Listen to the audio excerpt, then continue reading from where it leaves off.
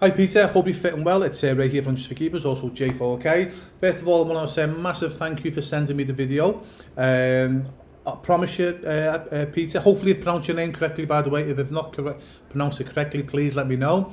Uh, but basically, first of all, I want to say massive congratulations for doing the video. Okay, that's the the first, uh, it's the most important step. Okay, it's the first step, but it's the most important step that you've got. Obviously, your feelings out in the open to speak to somebody. And this is the reason why, sadly, most people never ever, unfortunately, can turn their negative feelings into positive ones, or the reason why most people don't develop in life, not just goalkeeping, Peter, anything, is they don't ask for help. Now, because they think, oh, you've got to be tough, you know, you don't have to ask for help. No, okay, it's actually very, very wise to ask for help. It's actually stupid not to ask for help, okay? Yeah. Um, and, you know, there's a, a lot of people, you know, we're taught by, especially in schools, we're taught, you know, you know, we're taught, or people will say, hey, learn from your mistakes. Okay, I'm going to say go one better, Peter. Learn from other people's mistakes, okay? Yeah, and that, that way then hopefully you don't make those same mistakes. So you've done the first important thing, young man. You've reached out um, and it's actually a very strong thing that you've done. Obviously explaining about your fears, okay? So I, I promise you, Peter, you are in the 1% already because 99% of people won't ask and that's why 99% of people, unfortunately in life, don't, don't get by. So, uh, again, also, I, I might have mentioned this already, I thank you for your patience. I've actually been on holiday. It's actually my last day of took, uh, camping. Uh, I've got my pot noodle at the ready, as you do when you go camping. So I've took my family away for, for just over two weeks now. It's uh, my last day today, and it's the first opportunity I've found somewhere quiet on the campsite to obviously do this video for yourself. Well, it's actually just off the campsite. So, uh, yep, so thank you for your patience. So I'm going to answer the three main questions that you asked me. The first one, obviously, you're worried about making the mistakes in the game. Second one, you're worried about, worrying about getting injured. Third one, you're worrying, worrying about what your teammates say. And again, I, I can relate to all this, okay, because as I was a professional goalkeeper for 10 years, and I went through the, the, the same emotions. And I've been running just for keepers now for nearly 25 years. Um, and I promise you, uh, these are the most common asked questions that I get asked and I help my students with and I've coached all over the world. My organisation has coached well over 500,000 500, goalkeepers now, Peter. So we've coached a lot of a lot of young goalkeepers. That, that includes the, the mums and dads as well. Sorry. So we've helped a lot of people, uh, and it, it's more or less the same questions that we get asked. So the so the reason why I'm, the reason why I've mentioned that to yourself, please don't think you're in the minority. When you're thinking negative and you you know uh, you're not feeling confident about yourself, you you will feel as if that you're the only one in the world that's feeling that way please trust me uh, on this one. Um, sorry, I thought, I thought someone was uh, letting fireworks off there. Please trust me on this one, Peter. Uh, you know, um, the majority of people are underconfident, they're scared, etc. So you're not being weak, you, you, you're not in the minority, it's the, actually the majority of people that actually are, are uh, nervous, scared, underconfident. But the key, obviously, to, to, to your success is how to manage those nerves, how to manage that, obviously, self-doubt. And again, the reason why most goalkeepers become professional and professional is because they get this right up here. So this is why we've done the 30-day challenge, because if you can get this right up here, uh, I promise you, uh, Peter, uh, you'll be ahead of your competition. Uh, and that's why I'm very big on obviously teaching all the mental, mental side of goalkeeping. So the first question you asked was to obviously you were concerned about you know before the game you were concerned about making the mistakes and and then because you were thinking about making a mistake in a game you were making a mistake in the game and again excuse me that's one of the things I would have said to you, okay? Uh, I would have said, hey, Peter, if you're thinking about making mistakes in a game, you're probably going to make mistakes in a game. So obviously you found that out already, which is brilliant, by the way, okay? It's brilliant because at least now, you know, the, the, if you're aware of something, you can always put it right, you can always fix it. When you're not aware of something, Peter, you're always going to make the same mistakes, okay? So the key is is that you're, that you're aware that you're making these mistakes. Uh, and say, I was a professional goalkeeper for 10 years and I went through exactly the same as yourself, Peter. I was worried about making mistakes and I did make mistakes in the game. And I've been running just for keepers now for 25 years and we've helped thousands of goalkeepers, thousands upon thousands of goalkeepers, and they've all got the same concerns as, you, as, as yourself. So, how do you combat, uh, obviously, the million dollar question, how do you combat not having negative thoughts or being nervous before the game. Now, first of all, it's actually good to be nervous. It's good to be scared. And you, I know you mentioned that in the video. It's it's good because it keeps you on your toes, etc. But you can't allow it to go too far where it obviously just controls your mind because if you've got too much negative thoughts you're going to have negative thoughts unfortunately result in negative actions and then negative actions then result in negative habits And then when you have negative habits, that's obviously when things become a problem. But again, the great thing about it, Peter, is that you've you've, you've spotted it. Most people, most goalkeepers, unfortunately, don't spot it. They get to the point where they've got negative habits, and once you get to that stage, you can't come back. At your stage, you can easily come back, young man, which I'm going to show you how to do it now. So, what happens is, and there's an amazing saying, I think it was like Thomas Edison, it might have been, or it might have been Henry Ford, who founded the, the, the Ford motor car organization and he says if you if you think you can or if you think you can't you're right so what he's basically saying is if, if your mind thinks it can do something or if it thinks it can't do something it's right so you've got to be really careful about I call it poli policing your thoughts okay and that's what you're unintentionally that's what you've unintentionally been doing which is brilliant by the way Peter so what I want you to do now okay yeah is first of all is start visualizing so before each game or your training sessions, start visualizing yourself, and you'll hear me go on about this over the 30 days. Uh, start visualizing yourself. Uh, what was it? Um, basically having the best game. You know, e-, e-, every save is fantastic. You save the penalties. Your, your kicking's amazing. Your distribution, your throwing's amazing. You know, even you know, uh, so go through your perfect game everything fantastic. You know, your supporters, your teammates, your management, all, all, all giving you praise. Sounds nonsense, but I promise you it works, okay? And I want you to be doing this for like three or four minutes, two or three times a day. Doesn't take a long time, so whenever you're in a quiet, you know, whether you're in your room, you know, whether or not you're, um, you're, you're on the bus or you're, you're getting a, a lift in the car, again, just for three or four minutes, visualize yourself everything going perfectly well. What will happen as well? What will happen as well you'll still have the negative thoughts, okay? So if a negative thought pops into your head, especially before a game. What I want you to do, and this is what I personally do as well, by the way, I say to myself, or sometimes I say it out loud if there's nobody around, because I promise you, you can't escape negative thoughts. Okay, don't don't worry about that. Okay, I have negative thoughts every day. Everybody does, but the key is is to the, the key to success in your success, Peter, is to recognize a negative thought straight away, i.e. police your thoughts and stop it in its tracks. Because what most people do, they have a negative thought, then another one, another one, another one, and before you know it, they've had five minutes with a negative thought. So what I do when I have a negative thought, I quickly say to myself, no, no, no, no, no, no, no, no, no, no, no. Or sometimes I'll say out loud, no, no, no, no, no. In fact, sometimes when my wife hears me say, no, no, no, no, no, she goes, oh, negative thought, I go, yes, And then what happens then? So if you have a negative thought, you go, no, no, no, no, no, no, no. So let's say, for example, you visualize yourself dropping across. Okay, yeah. You go, no, no, no, no, no. And then you replace that negative thought with five or 10 positive thoughts. So you visualize yourself coming and catching that cross, coming and catching that cross, coming and catching that cross. It sounds super simplistic. but it works. But here's the key, here's the key, Peter. You've got to do it consistently. Okay, if you if you do it once a week, okay, yeah, it's it's going to take a long time for you because it's got to become a habit. So for me, I don't even realise now. If I have a negative thought, I go no no no no no no positive thought. So literally, a negative thought stays in my head a millisecond, uh, and I'm still getting on with my life. But I've been doing this for years. You've got to do it consistently, and the beauty about it, as I say, Peter, you can do it anywhere. It only takes a few minutes. Do it two or three times a day. Especially do it on a Friday before a game. Do it be, travelling in the car, just even if you got your earphones on. Again, when you see these Premiership players with the earphones, they're listening to music, yeah, but also in their mind, I promise you, they will be going over their perfect game in their head, and they will uh, they will have negative thoughts. I'll guarantee it. Even Premiership players will have negative thoughts, but they will override one negative thought with at least five positive thoughts.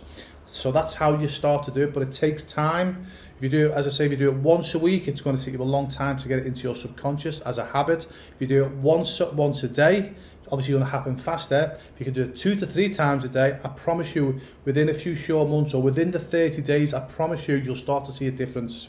I'll guarantee that, Peter, as long as you do it two to three minutes a day. So that's the first thing you need to do. It's the first thing, sorry, first thing I want you to realise is you're not, you're not being weak, okay? Don't think you're being weak Everybody has negative thoughts, okay? Because people think, oh, I must be weak, it must be only, it must be only me. It's not. The majority, 99% of the population have negative thoughts, but unfortunately they don't understand how to police the thoughts. So the first thing I want to say is, look, you're not weak, it's natural. Second thing I want to say as well uh, is that at least you're aware of it, which is really, really important, which is good. Most people are not aware of it. And the third thing now is you now visualize, and you'll hear over the 30 days, Uh, the 30 days is basically about visualizing, uh, Peter. So you, you're going to visualize now yourself having great games, okay? So two or three times a day, visualize yourself having a, a good, get, you know, the best game possible, the best saves, the crowd cheering, your teammates pat you on the back because you've, you've got man of the match. You do that two or three times a day, you deliberately visualize. And out, throughout the day, if a negative thought pops into your head, remember, no, no, no, no, no, no, five positive thoughts. And if you've got to do that 10 times a day, do it 10 times a day, because I promise you, the longer you do it, the less you don't have to do it. I might get a negative thought, I don't know, three or four times a day, but as I say, once you do it long enough, Peter, it becomes a habit, then your subconscious then goes, no, no, no, no, no, no, and it's a positive thought while you're still getting on with your life.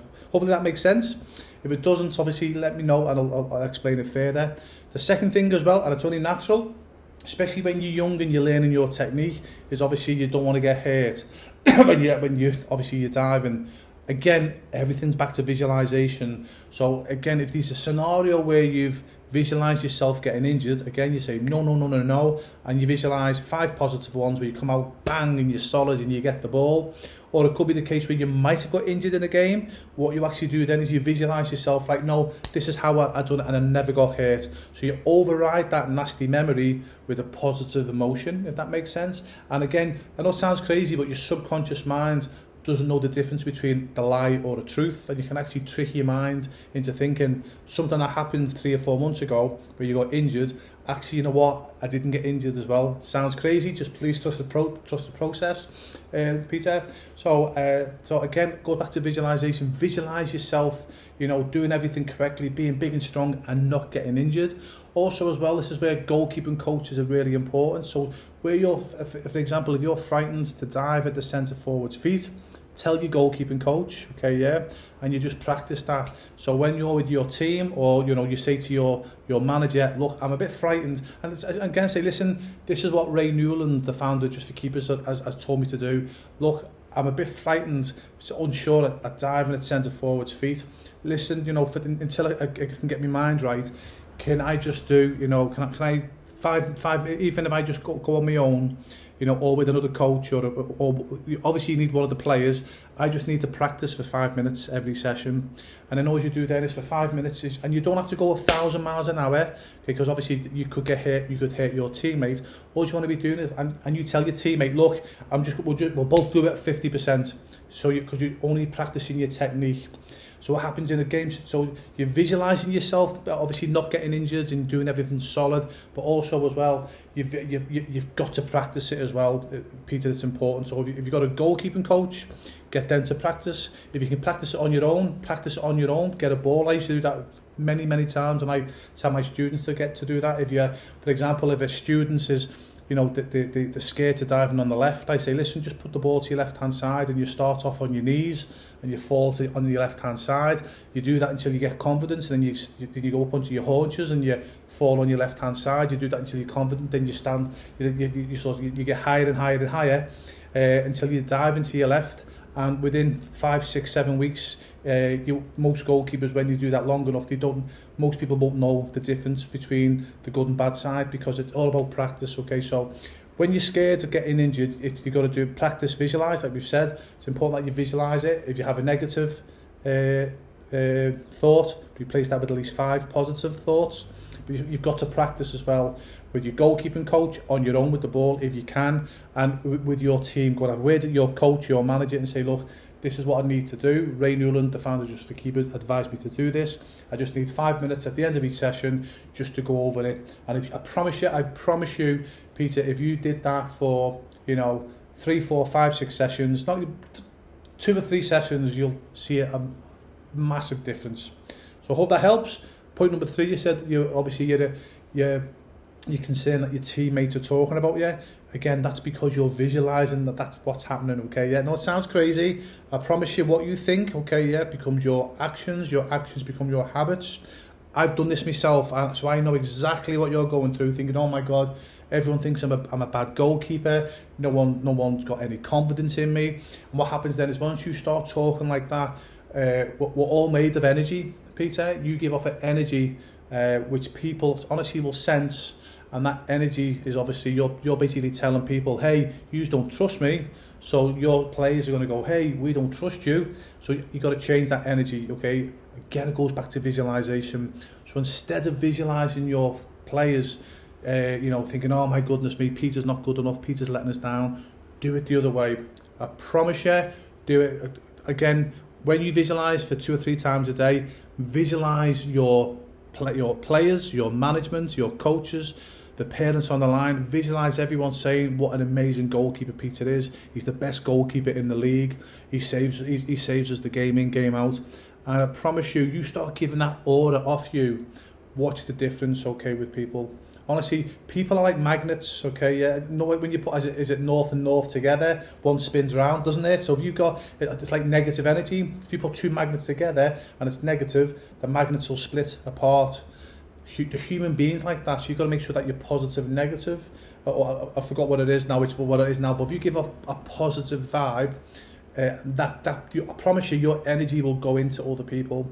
And again, I know this from first-hand experience because I too felt like yourself when I played for certain professional football clubs.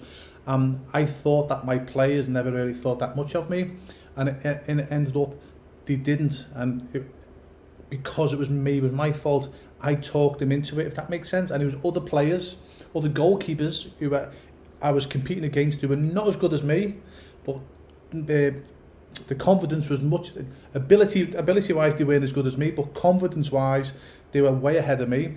And they just gave off the vibe, they were super confident and everybody loved them. And everybody loved them, you know what I mean? And so I, I learned that lesson painfully myself by me being negative okay, and then getting negative back. But then watching these other goalkeepers are going, okay, right, so I'm a better goalkeeper ability wise, but they're getting more success because of up here. And as soon as I started changing my thoughts and thinking, hey, my teammates like me, my managers like me, my supporters like me, uh, my game improved, and also the the um, my players they also they were more warmer towards me. Okay, Uh, but again, you've already mentioned it as well. You, you know, you, you, you've all, you've already said in the video to myself that you feel as if, you know, maybe it's because of your thoughts, that's why your players are like that. And it will be, okay? It, it will be. I know it sounds crazy, okay, yeah, it will be. But, so here's your homework.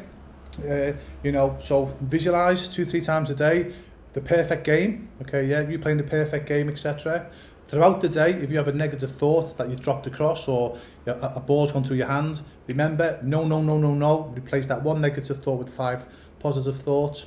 When you're visualizing as well throughout the day, you're visualizing yourself making fantastic saves, etc. Uh, visualize the crowd shouting your name, the parents shouting your name, the manager high fiving you, your players giving you a big hug. Uh, visualize that as well. And I promise you, if you do that every single day throughout the 30 day challenge, I'll guarantee by the end of it you'll see something really, really different. Really, really will. Um, so uh, hope that's it. Sorry, someone just made some noise there. Do apologise to you, mate.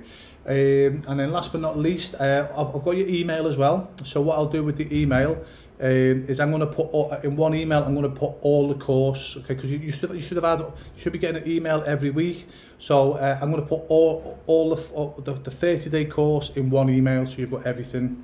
So if there's anything else you need Peter contact me anytime okay? If you want to do another video you can I'll answer. You don't have to just do one video you can do a, video a month. Even even after the 30 days I'm still I'm not going to go away. I'm still here to help you. So if you want another do another video at the end of 30 days to see how you're feeling please feel free to do that. And then obviously I'll, I'll come back to you uh, obviously with, with my answers. So hope that helps young man. And but please remember super important okay? You're aware of your thoughts which is brilliant okay? Yeah because when you're aware of something you can always put it right. Unfortunately it's the goalkeepers that are unaware that their thoughts are obviously not helping them. Um, and if you're unaware, you can never put them right, okay? And that's why, unfortunately, most goalkeepers don't achieve their dreams is because they're unaware that they, they're basically they're self-destroying themselves, okay? You're aware of your negative thoughts, which is, and again, please remember, it's only natural. Everyone has negative thoughts. I still do every single day. But the key is, is to understand, obviously, to police your mind. And as soon as you have a negative thought, Peter, boom, you change it with a positive one. And I promise you, you know, uh, I promise you, buddy, if you if you do do it consistently for the next 30 days, two to three times a day, I pro and do another video at the end of the 30 days, I promise you, I bet you you'll see uh, an improvement. Uh, okay, hope that helps you, man. If you need anything else, contact me anytime. Take care.